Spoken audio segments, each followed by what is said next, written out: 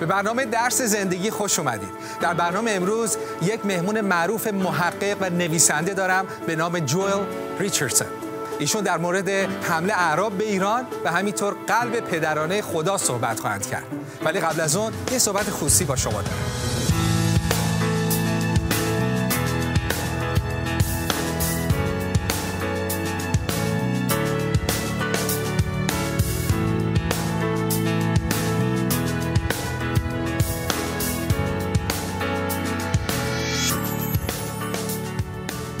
مهمون امروز ما مهمونی هستن که در آمریکا خیلی خیلی معروف هستند کتاب هایی نوشتن که پرفروشترین یکی از پرفروشترین کتاب های آمریکا شده. میلیون ها به فروش رفته و امروز افتخار می‌کنم که آقای جول ریچاردسون مهمون ما هستن. خیلی خوش آمدید. Thank you for having me on, Pastor. قربان شما. من اول می‌خوام چند تا سوال دارم. البته راجب یکی می‌خوام راجع به حمله عرب به ایران صحبت بکنم که می‌دونم شما تحقیقاتی در این مورد کردی کتاب ها نوشتی درس میدی پروفسور یعنی دارم می‌دونم از کسی دارم می‌پرسم که حرفش همینطوری نیست کار کردی. ولی قبل از اون می‌خوام اول با خودت آشنا بشیم. یه مقدار راجع به خودت بگو من برای شما ترجمه می‌کنم. Well, I, uh, I came to faith at age 19. I was actually بودم که به مسیح ایمان آوردم. raised in a very, very nominal uh, Roman Catholic home توی خونه ای که بیش- اه، کاتولیک بودن به دنیا آمدم and uh, lived as a, uh, as a hedonist for most of my, uh, my teenage years. بیشتر سالهای اه، زندگیمو با بی خدایی زندگی کردم uh, doing drugs and uh, trying to enjoy myself as a, uh, really as a child. با مواد مخدر و همینطوری بچگی میکردم And uh, I didn't think very highly of religion in general. اصلا به مذهب کاری نداشتم براش ارزشی قائل نبودم برای مذهب Uh, I had a love for God, but I didn't have much of an appreciation for, for religion. خدا رو قبول داشتم دوست داشتم ولی برای مذاهب اصلا ارزشی قائل نبودم And uh, on one very hot August uh, day, a friend of mine uh, and I decided to drive uh, from the northeast of the United States where we live down to uh, Memphis, Tennessee. یه روزی که روز گرم اه، ماه شهریور بود با تصمیم گرفتم که با ماشین از یک ایالت به ایالت دیگه برم And we were looking for uh, land to purchase, which was very cheap at that time. و دنبال زمینی میگشتیم که ارزون بود چون موقع زمان زمین ارزون بود که بخریم And we were driving in this, uh, this cheap little truck that had no air conditioning. با یک کامیونی اه، وانتی داشتیم میرفتیم که توش اه، کولر هم نداشت And so we were very hot. And uh, after about 20 hours on the road, we were looking for some place to, uh, to clean up. و 20 ساعت داشتیم تو این گرما رانندگی میکردیم بعد از 20 ساعت گفتیم یه جا وایستیم میخورد استراحت کنیم And we found behind a, a grocery store in a large field, we found a Christian preacher was having a meeting. و بعد یه جایی که ایستادیم دیدیم پشت یک مغازه یک واعظ مسیحی مردم رو جمع کرده داره موعظه می‌کنه And so, uh, as a joke, uh, we decided that we would ask the preacher to baptize us. برای مسخره کردن این شخص بهش گفتیم آره ما ایمان داریم ما رو ما رو تعمید بده so that we could cool off. که گفتیم ما رو تو آب ببره اقلا گرما گفت هوا گرمه بهش بگیم برای مسخره بگیم ما رو تعمید بده خنک شیم Uh, but then, of course, the joke was on us, and the Christians there sort of uh, roped us into staying for the, the evening service. و البته ما رو اونا می‌خواستیم جوک سوار کنیم رو خود ما شد چون مسیحیان اونجا ما رو نگه داشتن گفتن باید بمونید برای شام And so they were uh, preaching from the Bible, and they were praying for many people that were sick. و اونجا از کلام خدا موعظه میکردن و برای بیماران دعا میکردن And I was very skeptical. I thought, uh, you know, this is all uh, pretend, that none of this is real. و خیلی شکاک بودم میگفتم اینا همه تظاهره هیچ کدومش حقیقی نیست I was sitting in the back, just sort of skeptically watching this all take place. همون عقب یه جلسه ایستاده بودم از راه دور و با آه، شک به این چیزها نگاه میکردم که شاید اینا فیلمه And there was an older man that went up and got prayed for who had been blind uh, since he was a child. According, he claimed that he had been blind since he was a و child. بعد یک آقایی اه، رفت جلو که سنش هم بالا بود می‌گفت از بچگی من من کور بودم و رفت جلو که برای کوریش دعا کنم And uh, after the preacher prayed for him, the preacher asked him, he said, Is anything, Has anything happened? Can you see it all? و وقتی که واعظ اون مسیحی براش دعا کرد بهش گفت حالا چیزی می‌بینی؟ And he, he was speechless. He, you could tell he was, something was happening, but he didn't know what to say. و اصلا زبان این شخص بند اومده بود معلوم بود یه اتفاقی افتاده ولی نمیتونست بیان کنه And so he walked uh, out of the meeting into the field where all of the cars were parked in the field, and he walked out uh, into, the, into the night all by himself. و بعد همینطوری بدون اینکه حرفی بزنه شروع کرد قدم زدن و از اون جلسه خارج شد و رفت تو اون دشت And I, from a distance, I followed him uh, out into the field, and I watched as he knelt down in the grass and began to look up toward the sky and began to just weep and sob like a little baby. منم همینطوری از راه دور دنبال این مرد رفتم دیدم رفت توی دشت زانو زد به آسمان نگاه کرد و مثل یه بچه گریه میکرد Just deep belly sobs. And I walked up to him and I asked him if, in fact, something had happened. Had he really been healed? من به- رفتم جلو بهش گفتم "آ، اتفاقی برات افتاد واقعا الان داری میبینی And through his tears and through his crying, he asked me a bit about myself. و همینطور که گریه میکرد اون از من سوال کرد And eventually he looked up to the stars, he looked up to the sky, and he raised his hands and just with tears and trembling, his whole body was trembling, he said, I can see the stars right now. و همینطور که زانو زده بود به آسمان نگاه می‌کرد و دستاش میلرزید و گریه می‌کرد گفت من الان این ستاره ها رو می‌بینم And, uh, I, and I believed him. و من باور کردم این شخص داره درست میگه So then I walked, I walked back into the, the meeting where the preacher was preaching. پس برگشتم به اون جلسه که اون واعظ داشت صحبت می‌کرد And now I said, maybe I need to take the things that he's saying seriously. گفتم حالا بعد بسه که به حرفای این مرد بیشتر توجه کنم جدیتر And so the joke was on me. پس برای همین اومدم خدا رو مسخره کنم خودم مسخره شدم And the Holy Spirit of God confronted me.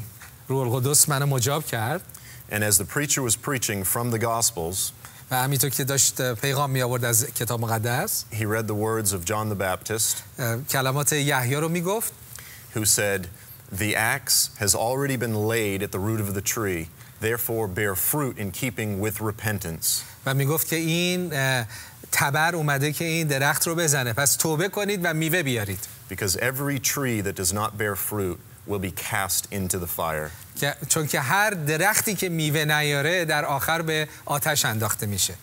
And I had, uh, in my own heart, believed that I was a good person. I was struggling to try to be a fairly moral person, although you know, I was doing drugs and so forth. I believed that in my heart I was a good person. البته اون موقع با اینکه مواد مخدرم میکشیدم ولی تو قلبم میگفتم من آدم بدی نیستم چون سعی میکنم آدم خوبی باشم پس خودم آدم خوبی میدونستم But the Lord, the Holy Spirit convicted me in my heart, and He said that the trajectory that you're on, the, the, the downward moral slide that you're on, you cannot stop it. And if you don't, if you don't completely give your life to me right now, your destiny will be in the hellfire. ولی خداوند نشون داد که آره فکر میکنم آدم خوبیم ولی مسیری که میرم مسیریه که به جهنم ختم میشه And so I gave my life to Jesus پس that night. همونجا اون شب زندگیمو به خداوند سپردم And it was, it was very shortly thereafter that I used to go into my hometown of Boston.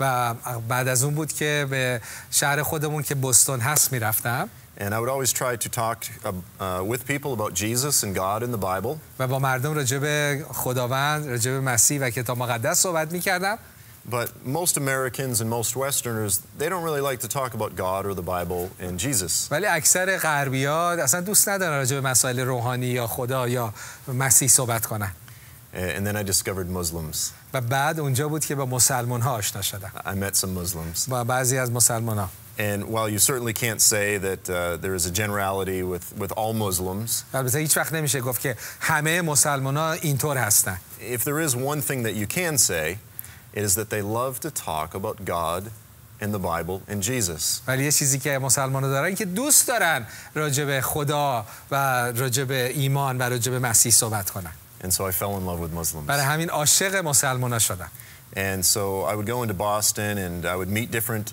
different Muslims just, you know, wandering around. And we would sit down and we would have discussions, sometimes for hours. برای همین بستون رفتم با مسلمان ها میشستم و گاهی تا ساعت ها با هم صحبت میکردیم And this was really the beginning of a, uh, a divine plan on my life, if you will. For the Right. next several years, I was reaching out to Muslims and loving Muslims. و این شروع یک اه، زندگی من بود که با مسلمان ها دوست باشم و باشون یک اه، زندگی کنم and, and telling them about my love for Jesus and how wonderful God has been to me and how he has revealed himself to me personally. و بهشون بگم که محبت خدا و اینکه خدا چطور خودش رو به من آشکار کرده And I hope to continue to be able to do this until the day that I die. و دل من اینه که تا روزی که زندم از محبت خدا با دیگران صحبت بکنم. و اینو در شما می‌بینیم که کتاب های نوشتی راجب, راجب اسلام از او تحقیقاتتون و راجب کتاب مقدس و اسلام راجب نبوت. شما کتاب های زیادی نوشتید و کتاب مقدس و نبوت با با وقایعی که داره اتفاق میفته می‌خوام دو تا سوال امروز می‌خوام ازتون بکنم. قسمت اول می‌خوام که راجع به تحقیقات خودتون اون چکیدش رو راجع به حمله اعراب به ایران و حمله اسلام به ایران چند تا نکته ای که تو تحقیقاتتون شما بهش رسیدید رو با عزیزان ما در میان بگذارید. بعد می‌خوام راجع به پدری خدا صحبت بکنیم. بفرمایید. Yes, this is this has been a burden on my heart. I um, I say I love Muslims, but I particularly love the Persian peoples. من خیلی تو قلبمه. من میگم که مسلمان‌ها رو دوست دارم، ولی به طور خاص ایرانی‌ها رو دوست دارم. And of course, I know that, uh, or at least I would hope that many Persians are, are more familiar with the history, uh, uh, their history, than, than I am. But in my studies, what, what I have found و امیدوارم که و ایمان دارم خیلی از ایرانی ها البته به تاریخ خودشون خیلی آگاه هستن ولی با تحقیقاتی که خودم کردم به این نتیجه رسیدم is the Persian Empire, the ancient Persian culture.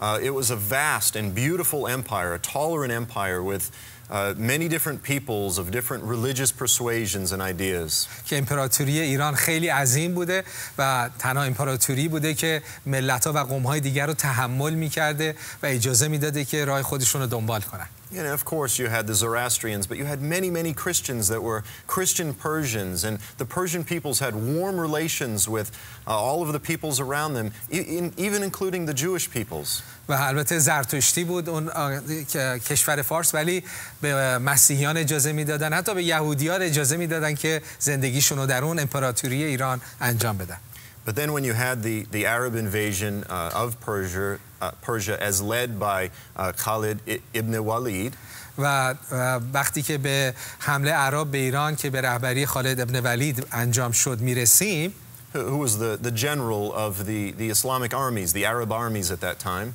که اون ژنرال اون ارتش عرب بود که به ایران حمله کرد. Uh, when, when he came into Persia, there was a strong Christian Persian resistance. وقتی که اومد ایران یک ایرانی ها در مقابلش مقاومت کردند مسیحیان ایرانی. because there was the famous invitation where, where Khalid issued the invitation to the Persian peoples. He said, uh, We invite you to Islam. If you accept it, it will go well with you. Otherwise, I bring you a people who love death. و به ایرانی ها یک هشدار داد این جنرال ولید و بعد گفتش که من یا شما به اسلام رو میارید یا اینکه ما یک لشکری میفرستیم که عاشق مرگم But these noble Persians said, we cannot forsake uh, our faith and so we must renege on your invitation. و این ایرانی ها گفتن نه ما ایمانمون رو نمی‌تونیم کنار بگذاریم پس باید این دعوت شما رو رد کنیم.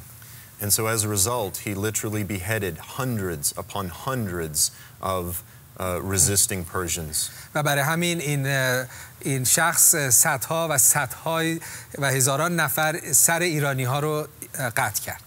And this really marks the turning point in the history of the Persian peoples from, uh, from a beautiful ancient culture to where the oppression began to creep in and this dark cloud crept over the Persian uh, nation. و این تاریخ ایران عوض کرد. تاریخ ایرانی که اینقدر باز بود و اینقدر از لحاظ فکری باز بود و دیگران رو تحمل می‌کرد به فرهنگی که توش روش فشار و تهدید و ترس اومد. In so many ways, it's a, it's a suffocating force that suffocates freedoms and suffocates so many of the beautiful aspects of Persian culture. و این نیرویی که وارد ایران شد مثل که ایران رو خفه کرد اون چیزهای خوبی که در ایران بود اون محبت و اون آرامش و اون تحملی که از دیگران اومد مثل که یکی اومد این روح ایرانی رو خفه کرد And even today we still see this suffocating force that's trying to suffocate the, the beautiful spirit of the Persian peoples. امروز هم میبینیم یه روحی هست که میخواد ایرانی ها رو و اون روح زیبای ایرانی ها رو خفش کنه.